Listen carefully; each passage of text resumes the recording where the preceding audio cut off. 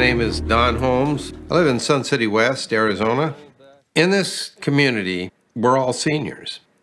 After you move in here, even if you don't know anybody, you get to know other people you enjoy doing things with.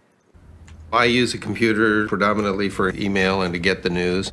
One day, a thing pops up and kind of blocks the screen and says, You've got all kinds of uh, viruses in your computer. The design of the pop up uh, had a Microsoft logo on the top, and they had a number. And I couldn't get rid of this, this thing on the screen. Turned the computer off, turned it back on, still there. So I called the number. They identified themselves as Microsoft. I had no feeling that there was any anything wrong. Tech support scams are real and they're causing enormous consumer injury, hundreds and hundreds of millions of dollars, and that's just based on the FTC's own law enforcement work.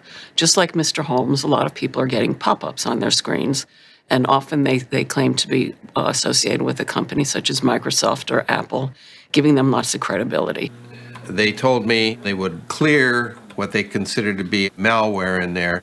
In order to clear it up, they needed to get into my computer and have my control of the computer turned over to them. So I gave them my password. They went in, the thing came off of the screen. When I went back to my computer the next day, I couldn't access my files. You'd never let a stranger into your house.